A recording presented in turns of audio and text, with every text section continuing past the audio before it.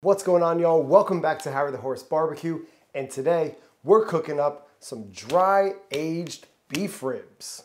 And not just any ribs, these are some dino ribs. Let's get it.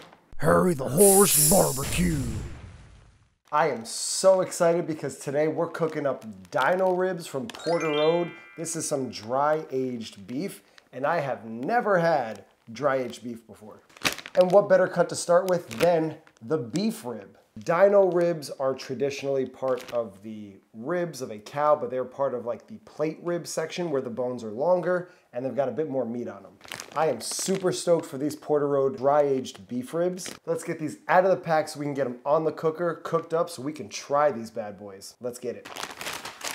Beef ribs. They're a super easy cook as long as you treat them right. These are from Porter Road. I'm super excited. Now, I've cooked beef ribs from all over the place. I've gotten them from local butchers. I've gotten them from Creekstone Farms. Anywhere you can think of, I've tried them, except for Porter Road. Can you just see the marbling in the peck? It's looking good. I didn't put a garbage in my garbage can. What was I thinking, man? Those are massive. These are some giant dino ribs.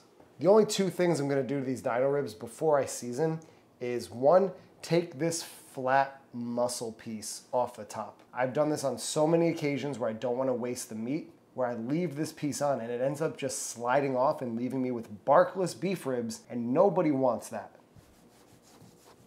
There we go.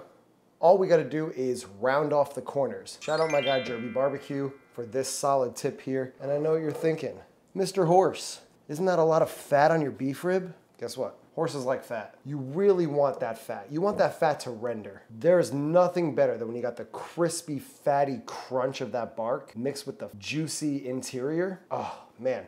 Nothing like it on beef ribs. Plus, we're gonna be foil boating these. If we're foil boating them, then we're gonna leave that fat exposed, allowing it time to get nice and crispy, crunchy, and barky. Man, these are gonna be good.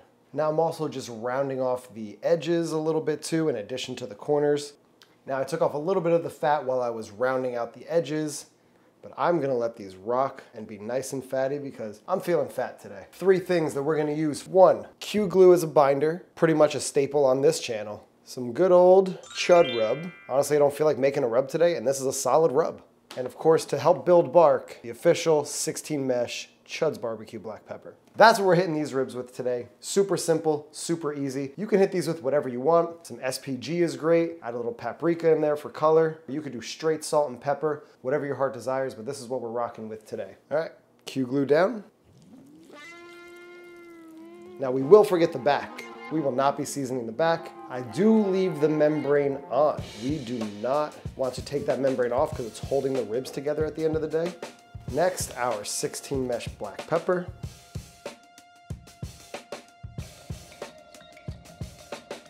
We've got a good amount of pepper down. Now over the top with our chud rub.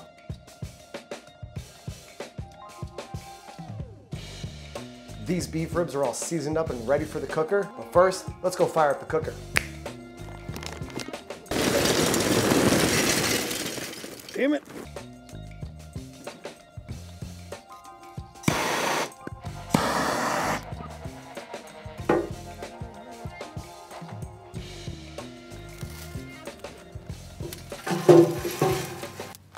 That chud chimney fits right in my firebox. Not bad. Now I got some janky old pieces of wood. I'm just gonna get the fire hot, and we'll get these ribs on.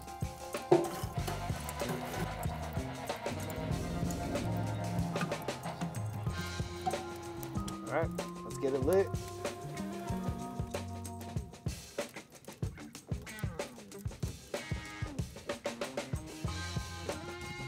This fire is lit. Let's close up the cooker. All right, y'all, this cooker's up to about 250 degrees. Let's go grab those beef ribs. These beef ribs are looking killer. I need to eat these ASAP. Let's get them on. Up and under, we got a water pan in, kind of as a heat deflector. And I'm gonna put the big side of the ribs towards the fire. And that's it. No other surprises today, just a rack of dry aged beef ribs. Let's close it up, maintain temps between 250 and 275, and we'll catch y'all back here when we spritz in about three, four hours. Close her down. Boom, shakalaka. All right, y'all, about three hours in on these beef ribs, and it's only about 4.30 and it's getting very dark. So this will be our last check-in before we actually wrap these up. Let's check out how these beef ribs are doing. I'm psyched about these. Let's take a look. Ooh, oh, I forgot I had my beef rib junior on here. Let's take a quick look. Ooh, yeah. This pullback on the bone is looking really nice. That's because I think the heat from the wall is actually playing a role here. So what I'm actually gonna do is probably rotate this because this part's shrinking up a little bit more than I want it to. Just get a little spritz on there on the front end, back end. This beef rib junior. Gonna be a nice little snack. I can't wait to snack on that. And I'm gonna bare hand flip these. One, two, ready, go. Oh, it's actually not that hot. And we're gonna rock this out.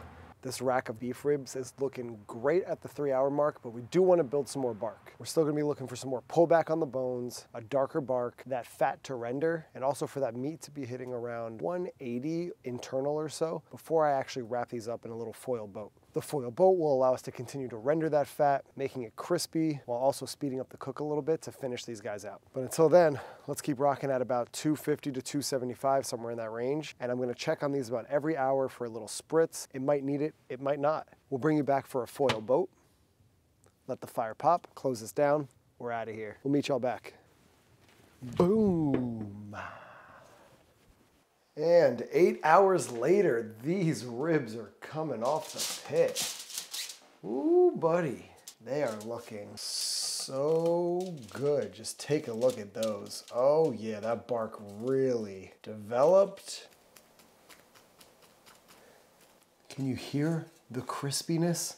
Mmm, these are gonna be so good. These are temping at around 195. They're feeling like butter right at 194 here. These are looking great. Let's put them in a foil boat wrap and let them rest until we're ready to slice into them.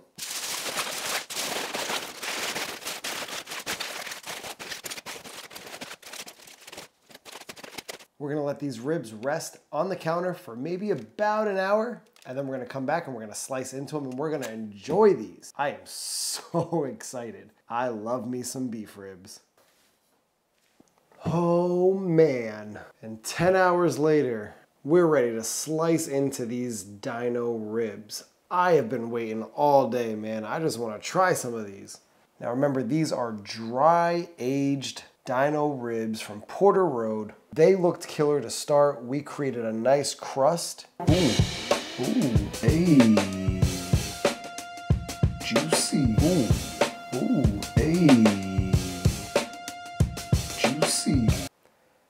We go.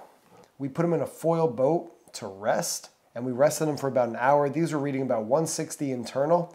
Time to slice them up. Oh man. Oh my god. Oh my god. Oh my god. Just take a looky loo at that. Woo. That is a beef rib. Oh, oh my gosh. Can we see this? Oh man, that is looking so good. I am dying to take a bite of these. Let's get it. Oh man, where to bite first on these beef ribs? It's gotta be right there. Oh my god. Mmm. Mmm. This is so good. The juice is crazy. Mmm. That's a good bite. Mmm.